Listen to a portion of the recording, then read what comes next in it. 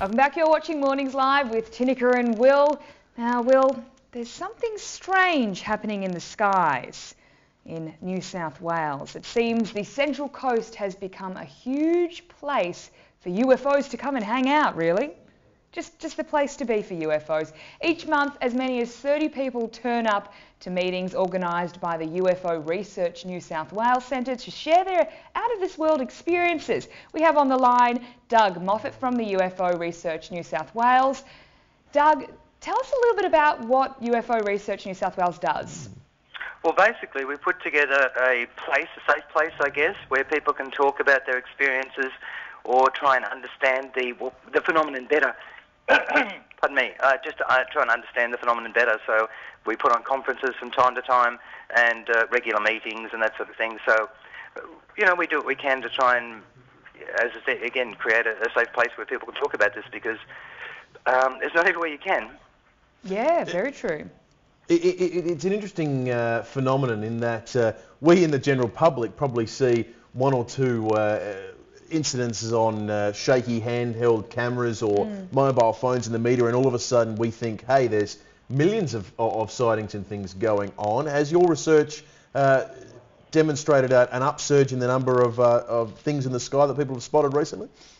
Um, not recently, but I think if you look at um, historically the um, the graph of say sightings, you'll find that um, there are spikes and troughs. Um, you know, in France in 1953, there was uh, a lot of landings of craft. Now, why France? Why 1953? No one knows. Yep. Um, so there are peak years and trough years.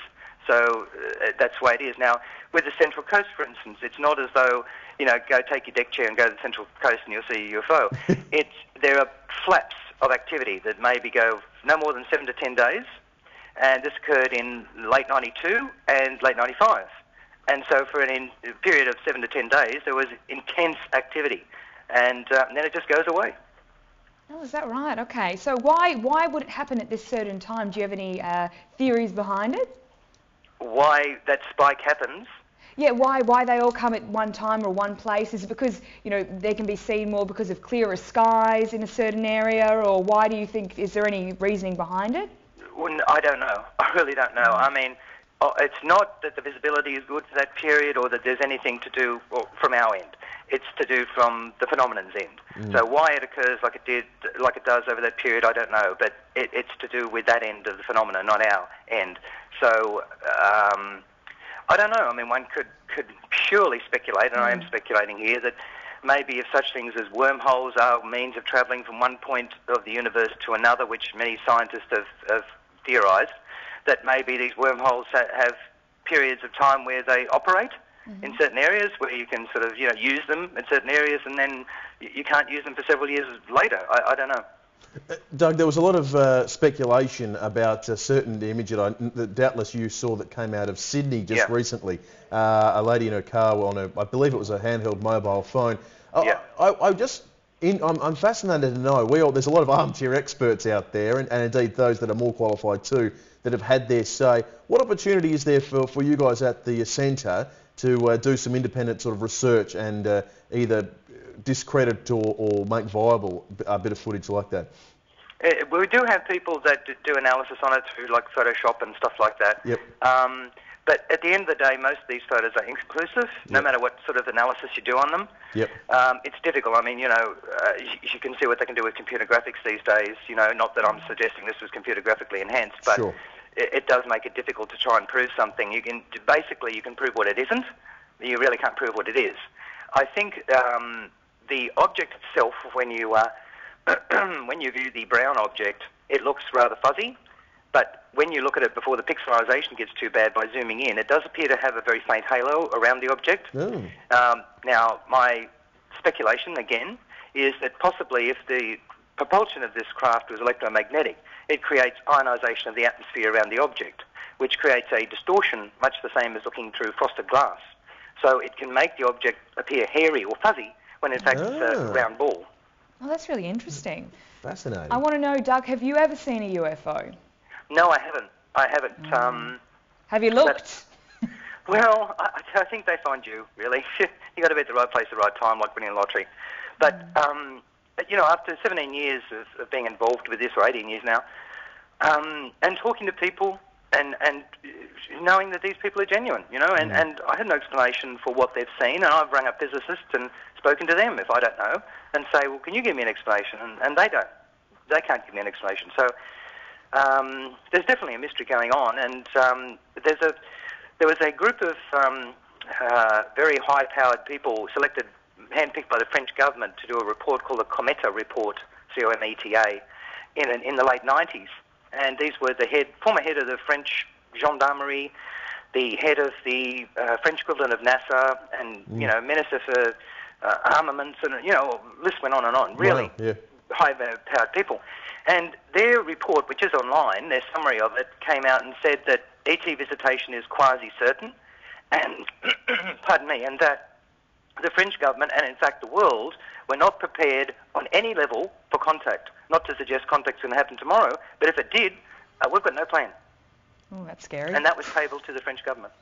That, that's that's fascinating, and I'm sure. I mean, there's, there's so much that's been uh, uh, speculation that's come out of uh, fiction, and uh, what what could be going on, and what uh, happens in the uh, secret holes of government. Uh, that said, um, I'm sure on some level something like this gets discussed, debated, and some certain cases do get reviewed.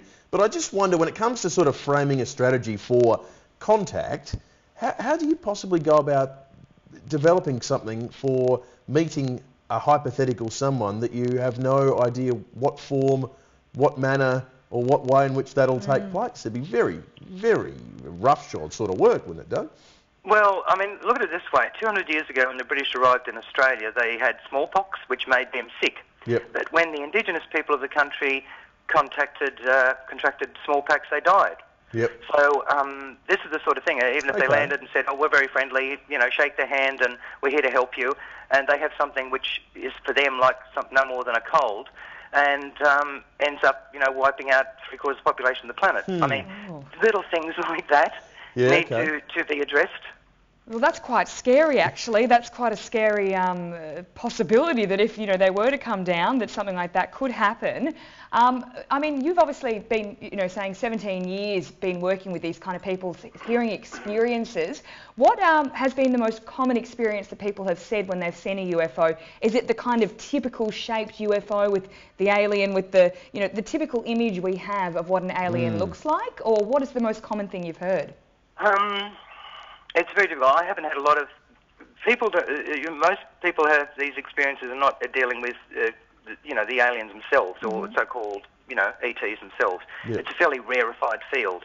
So most of the time, people are seeing craft, sometimes very close, um, and and sometimes it's a bright star-like object that moves around.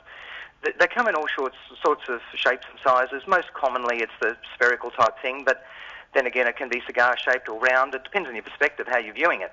Um, also, but we've had some that are shaped of dumbbells and all sorts of things. So, you know, they do come in all different shapes and sizes. Just lastly, Doug, before we do let you go for this morning, uh, uh, I, I imagine there'd be instances where you'd have to sort of check things with uh, the government or the military because you, you, you've had reports or you've seen vision or footage of something flying about the place. Do you get much cooperation from the authorities when it comes to sightings that they might say, hey, oh no, this was just a, a, a weather balloon, to use a famous example, or this was a, uh, uh, any number of other things? You- Is there much cooperation in that sense? Um, oh, look, they're cooperating to, to the extent that they have to, but I mean, there's no interest there. Sure. Um, you know, they're not sort of, you know, oh, yeah, I'll help you out sort of thing. It's more like public service. You know, if I have to check, yes, no, there hasn't been a weather balloon. Thanks very much. Bye. Um, Yeah, Wow. sure, pretty much okay. yeah, you know, that's pretty much it. Well, at least you get through. So obviously the public service up in New South Wales isn't too bad there. Yeah.